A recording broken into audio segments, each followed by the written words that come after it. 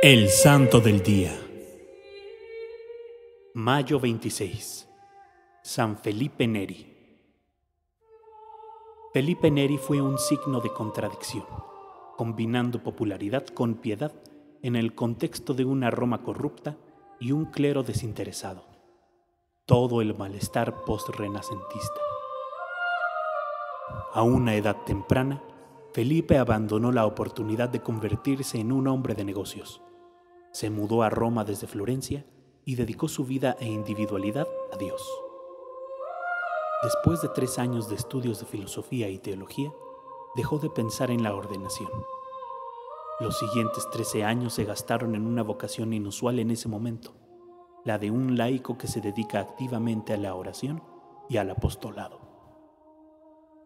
Cuando el concilio de Trento, de 1545 a 1563, estaba reformando la iglesia a nivel doctrinal, la atractiva personalidad de Felipe le estaba ganando amigos de todos los niveles de la sociedad, desde mendigos hasta cardenales.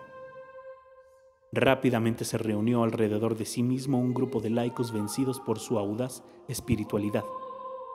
Inicialmente se reunieron como un grupo informal de oración y discusión, y también sirvieron a los pobres en Roma.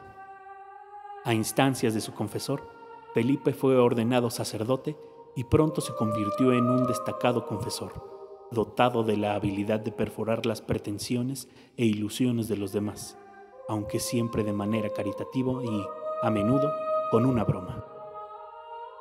Organizó charlas, discusiones y oraciones por sus penitentes en una habitación sobre la iglesia. A veces dirigía excursiones a otras iglesias, a menudo con música y un picnic en el camino. Algunos de los seguidores de Felipe se convirtieron en sacerdotes y vivieron juntos en comunidad. Este fue el comienzo del oratorio, el instituto religioso que fundó.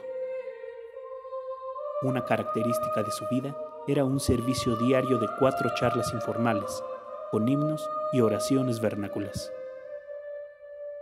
Giovanni Palestrina fue uno de los seguidores de Felipe y compuso música para los servicios.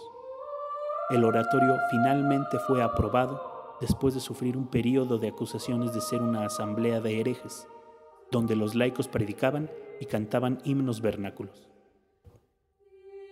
El consejo de Felipe fue buscado por muchas de las figuras prominentes de su época. Es una de las figuras influyentes de la contrarreforma, principalmente para convertir a la santidad personal muchas de las personas influyentes dentro de la iglesia misma. Sus virtudes características fueron la humildad y la alegría. Después de pasar un día escuchando confesiones y recibiendo visitas, Felipe Neri sufrió una hemorragia y murió en fiesta del Corpus Christi en 1595. Fue beatificado en 1615 y canonizado en 1622. Tres siglos más tarde, el cardenal John Henry Newman fundó la primera casa del oratorio en Londres. San Juan Diego Radio, el mensajero de María.